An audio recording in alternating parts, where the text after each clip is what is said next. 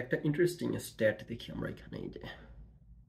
এই বিশ্বকাপে এখন পর্যন্ত ওকে এই বিশ্বকাপে এখন পর্যন্ত ছয় থেকে আট নাম্বার ব্যাটিং পজিশনের মধ্যে যারা খেলতেছে এই পজিশনে তাদের মধ্যে কার রান সবচেয়ে বেশি?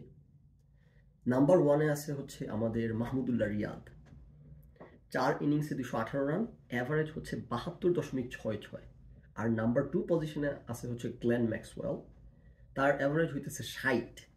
মানে তারপর লাইক ড্রপ খুব শার্প ড্রপ তারপর আছে হইতেছে ডেভিড মিলার যার অ্যাভারেজ হইতেছে বিয়াল্লিশ। সো মাহমুদুল্লাহ বাহাত্তর, তারপর ষাট, তারপর হচ্ছে বিয়াল্লিশ। মানে শার্প ড্রপ আর কি। মাহমুদুল্লাহ ধারে কাছে কেউ নাই। নাও যে মাহমুদুল্লাহকে আমরা তো বাদ দিয়েই দিছিলাম, কত কাহিনী করে সে দলে ঢুকছে, আমরা জানি। কেন? মাহমুদুল্লাহ কি সমস্যা কি মাহমুদুল্লাহ মাহমুদুল্লাহ অস্ট্রেলিয়া টিমে খেলে। এই টিমে জায়গা হচ্ছে না মাহমুদুল্লাহ। সাবস্টিটিউটেড ঠেলায় পাইপলাইনে ঠেলাঠেলির কারণে এই টিমে মাহমুদুল্লাহকে রাখা যাচ্ছে না, মুশফিককে রাখা যাচ্ছে না, তামিমকে রাখা যাচ্ছে না। অস্ট্রেলিয়ার টিম আর কি এটা। তো এখন আমাদের ক্রিকেট বোধারা চলে আসবে স্ট্রাইক রেট নিয়ে আলোচনা করতে, তরুণ প্রজন্ম হ্যাঁ? স্ট্রাইক রেট নিয়ে কথা বলব এখন যে আচ্ছা ফখরুল ভাই, আপনি যে বললেন যে মাহমুদুল্লাহ নাম্বার ওয়ানে আছে, বাকি যারা আছে লিস্টে তাদের স্ট্রাইক রেট স্ট্রাইক রেট একটু তুলনা করেন তো? ও আচ্ছা ঠিক আছে, তাহলে করি, সেটাও করি। গ্ল্যান ম্যাক্সওয়েলের স্ট্রাইক, মাহমুদুল্লাহর হচ্ছে বিরানব্বই স্ট্রাইক রেট। গ্ল্যান ম্যাক্সওয়েলের একশো একাত্তর, ডেভিড মিলারের একশো বিশ, এবং আরেকজন আছে ম্যাক্সন জ্যানসন, সে হচ্ছে, মার্কো জ্যানসন, সে হচ্ছে একশো ত্রিশ। তার মানে সবার একশোর উপরে এবং একশো সত্তর গ্ল্যান ম্যাক্সওয়েলের, সেখানে মাহমুদুল্লাহ একশোর নিচে, বিরানব্বই। এই কথাটা বলবে কে? আমাদের ওই বিভিন্ন ফেসবুক গ্রুপে ঘুরে ঘুরে ক্রিকেট বিশ্লেষণ করা ধরুন প্রজন্ম। মাহমুদুল্লাহ স্ট্রাইক রেট দেখছেন আপনি? অন্যদের স্ট্রাইক রেট দেখছেন? এই কর্থব তুই যে দল যে দেশ সাপোর্ট করিস যে দলে সাপোর্ট করিস, তুই সেই দলের অন্যান্য প্লেয়ারদের স্ট্রাইক রেটের সাথে না কম্পেয়ার করবি। তুই ইন্ডিয়ার সাথে পাকিস্তান ইন্ডিয়ার সাথে অস্ট্রেলিয়ার সাথে সাউথ আফ্রিকা ইংল্যান্ড টিমের সাথে তুই কম্পেয়ার করিস কেন? মাহমুদুল্লাহ রিয়াদ কি অস্ট্রেলিয়া টিমের ব্যাটসম্যানদের সাথে কম্পিট করতেছে টিমে থাকার জন্যে? তা তো না, সে কম্পিট করতেছে হ্যাঁ দুধভাতগুলোর সাথে। তাহলে কম্পেয়ার করতে হবে দুধভাতগুলোর সাথে। না না, এরা চলে যাবে ইংল্যান্ড অস্ট্রেলিয়ার সাথে তুলনা করতে, যে কি জানি বলে, বীরেন্দ্র সেওয়াকের তামিম ইকবালের সাথে বীরেন্দ্র সেওয়াগের তুলনা করেন আপনি। বীরেন্দ্র সেওয়াগের জানেন আপনি স্ট্রাইক রেট কত। বীরেন্দ্র সেওয়াগ জানেন আপনি কত ম্যাচ জিতেছি। বীরেন্দ্র সেওয়াগ তামিম ইকবাল কি ইন্ডিয়া টিমে খেলতেছে? তো এই গর্ধবদের এই ধরনের গর্ধব মার্কা কথাবার্তার কারণে আমরা আরেকটু ডিপ ডাইভ করব, আরেকটু বিশ্লেষণ করব মাহমুদুল্লাহর ইনিংসগুলা যে কেন মাহমুদুল্লাহর হইতেছে? স্ট্রাইক রেট সবার যেখানে একশো পঞ্চাশ, একশো চল্লিশ, একশো ত্রিশ করে, মাহমুদুল্লাহর কম্পিটিটর যারা তারপরে আছে, সেখানে মাহমুদুল্লাহ কেন একশো নিচে নব্বই? বয়স হয়ে গেছে খেলতে পারে, এটা জোর করে ইয়েতে পাঠানো উচিত, অবসরে। আচ্ছা প্রথম ম্যাচ বাংলাদেশ খেলছে আফগানিস্তানের সাথে, সেখানে মাহমুদুল্লাহকে ব্যাটিংয়ে নামতে হয় নাই। পরের ম্যাচ বাংলাদেশ খেলছে ইংল্যান্ডের সাথে, সেখানে মাহমুদুল্লাহকে দলে রাখা হয় নাই। এত সেরা প্লেয়ার গিজ গিজ করে এই দলে মাহমুদুল্লাহর জায়গা হচ্ছে না, তামিমের জায়গা হচ্ছে না, মুশফিকের জায়গা হচ্ছে না। মুশফিক কিন্তু এই যে তাদের, তার পজিশনে এই কত নম্বরে আছে এই লিস্টে মুশফিক আছে এক, দুই, তিন, চার নম্বরে এই ছয় থেকে আট নম্বর পজিশনে যারা খেলে, এই বিশ্বকাপে সর্বোচ্চ রান যারা করছে, তাদের মধ্যে মাহমুদুল্লাহ এক নম্বরে এবং মুশফিক হচ্ছে চার নম্বরে সবচাইতে ফেলুদা দলের মধ্যে খেলার পরও এই পঞ্চপাণ্ডবের দুইজনই হইতেছে কিন্তু লিস্টের টপে আছে। ওকে কই, আপনাদের দুধ ভাতটা কেউ লিস্টে আসলো না? ফাটাই ফেলবে এই বিশ্বকাপে। কই ওরা সবাই? আচ্ছা বাংলাদেশ নিউজিল্যান্ডের সাথে যে ম্যাচ খেলছে, সেই ম্যাচে মাহমুদুল্লাহ রিয়াদ ছিল নট আউট একচল্লিশ রানে, উনপঞ্চাশ বলে একচল্লিশ রানের একটা ইনিংস খেলছে এবং উইকেট কখন কখন পড়ছে এগুলো আমাদেরকে দেখতে হবে। খেলার পরিস্থিতি বুঝতে হলে যে মাহমুদুল্লাহ কখন নামছে, কি পরিস্থিতিতে ব্যাট করছে, কেন তার স্ট্রাইক রেট একশোর নিচে, কেন উনপঞ্চাশ বলে একচল্লিশ রান করল সে, কেন একচল্লিশ বলে উনপঞ্চাশ রান করল না? ও আচ্ছা চলেন দেখি। কই গেল কই গেল কই গেল? আচ্ছা এই ম্যাচে তো মাহমুদুল্লাহ রিয়াদ নট আউট ছিল সো এটা বোঝাটা একটু ডিফিকাল্ট যে সে যখন নামছে তখন কত উইকেট পড়ে গেছে। কিন্তু আমরা তো জানি রাইট এই এই এই আচ্ছা দেখ, পরের ম্যাচে দেখি বাংলাদেশ ভার্সেস পাকিস্তান ওকে এটাতে দেখতে পাবো, কারণ এটাতে সে সম্ভবত আউট হয়। এই যে মাহমুদুল্লাহ রিয়াদ ছাপ্পান্ন করছে, করে আউট হয়েছে মাহমুদুল্লাহ রিয়াদ যখন আউট হয়েছে তখন একটা কি দুইটা ম্যাচে সে প্রপার ক্রিকেট খেলে আউট হয়েছে এই যে এই, এটা এটা ওয়ান অফ দোজ ম্যাচেস যে ত্রিশ ওভারে আউট হয়েছে তার মানে মাহমুদুল্লাহ যখন ব্যাটিংয়ে নামছে, তখন অলরেডি বাংলাদেশের চার উইকেট নাই বিশ ওভারে তাও কিন্তু সে প্রপারলি খেলার সুযোগ পায় নাই। মাহমুদুল্লাহ যখন ব্যাটিংয়ে নামে, তখন বাংলাদেশের বিশ দশমিক পাঁচ ওভারে চতুর্থ উইকেট পড়ছে। একশো রানে চতুর্থ উইকেট পড়ে গেছে, একশো দুই রানে তার মানে মাহমুদুল্লাহ যখন নামছে, তখন তার পক্ষে ফ্রিলি ব্যাট করা সম্ভব না। তার পক্ষে সোনার বাঙালির স্ট্রাইক রেটের চাহিদা পূরণ করা সম্ভব না। সে তখন ম্যাচ ধরে ধরে খেলছে। যেই কারণে ওর স্কোর হইতেছে ultimately at the end of the day সত্তর বলে ছাপ্পান্ন রান সো তার মানে ওই ম্যাচে মাহমুদুল্লাহকে ভালো স্ট্রাইক রেটে খেলা সম্ভব ছিল না। কারণ আশা করি আমরা এই ব্যাপারে একমত। কারণ বাঘগুলো সব অলরেডি বিশ ওভারের মতো অল আউট হয়ে বসে আছে। আচ্ছা তাহলে মাহমুদুল্লাহ স্ট্রাইক রেট অন্যদের সাথে অস্ট্রেলিয়া নিউজিল্যান্ডের টিমের ওদের সাথে আশা করি কম্পারেবল না। যারা দুই উইকেটে পাঁচশো রান তুলে ফেলতেছে হ্যাঁ? আচ্ছা ওকে ইন্ডিয়ার সাথে মাহমুদুল্লাহ রিয়াদ করছে ছেচল্লিশ রান, ছত্রিশ বলে, এবং মাহমুদুল্লাহ রিয়াদ আউট হইতেছে উনপঞ্চাশ দশমিক দুই ওভারে তার মানে যখন ইনিংস প্রায় শেষ ওভার পর্যন্ত গেছে প্রায়, যখন মাহমুদুল্লাহ কিছুটা ফ্রিডম পাইছে এখন হাত খোলার, দেখেন তো মাহমুদুল্লাহ হাত খুলতে পারছে কিনা। ছত্রিশ বলে ছেচল্লিশ রান, একশো একশো আঠাইশ স্ট্রাইক রেটে সে তখন ব্যাট করছে।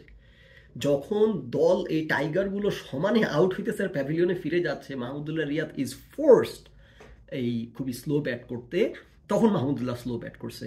যখন খেলা টেনে মাহমুদুল্লাহ পঞ্চাশ ওভার পর্যন্ত নিতে পারছে, তখন ঠিকই সে স্লক করে ছত্রিশ বলে ছেচল্লিশ রান করছে। তার মানে দলের প্রয়োজন টিমের পারফরমেন্স অনুযায়ী মাহমুদুল্লাহ পারফর্ম করতেছে। তার মানে এই না যে ওর যে নব্বই স্ট্রাইক রেট তার মানে এই না সে ব্যাট করতে পারে না।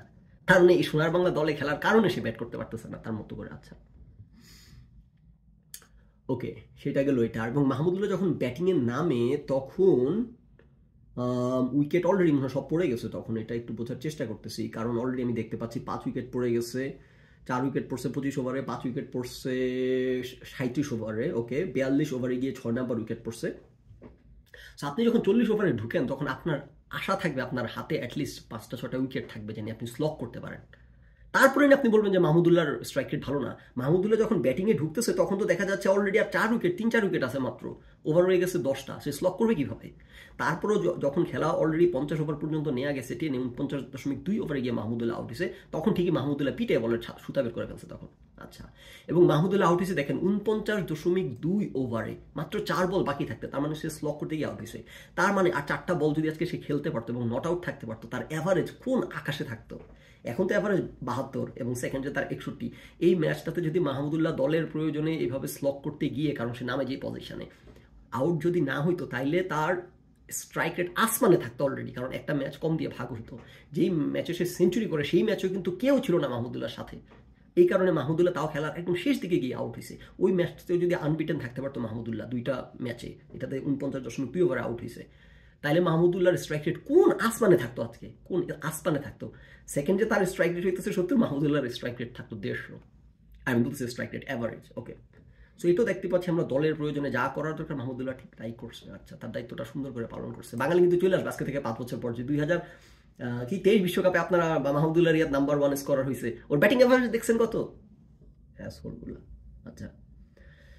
তারপর হচ্ছে সাউথ আফ্রিকার সাথে খেলায় দেখি মাহমুদুল্লাহর কি অবস্থা। সাউথ আফ্রিকার সাথে খেলায় মাহমুদুল্লাহ সেঞ্চুরি করছে এবং দেখেন মাহমুদুল্লাহ আউট হয়েছে পঁয়তাল্লিশ দশমিক চার ওভারে এবং আপনারা যারা খেলা দেখছেন, আপনারা জানেন যে মাহমুদুল্লাহর ওই সাইডে মাহমুদুল্লাহ ছিল নবম উইকেট ওই সাইডে সবগুলো দুধ ভাত সমানে আউট হয়ে যাচ্ছে। মাহমুদুল্লাহ একমাত্র ব্যাটসম্যান আট উইকেট পড়ে গেছে। তখন মাহমুদুল্লাহ বাধ্য হয়ে যে পাঁচ ওভার আর বাকি পাঁচ ওভার আমি ধরে রাখতে পারব না। আমি ধরে রাখব, কিন্তু ওই দিক দিয়ে দুধ ভাতগুলো অল আউট হয়ে যাচ্ছে। তখন মাহমুদুল্লাহ ঘুরানো শুরু করছে। তখন গিয়ে সে আউটটা হয়েছিল।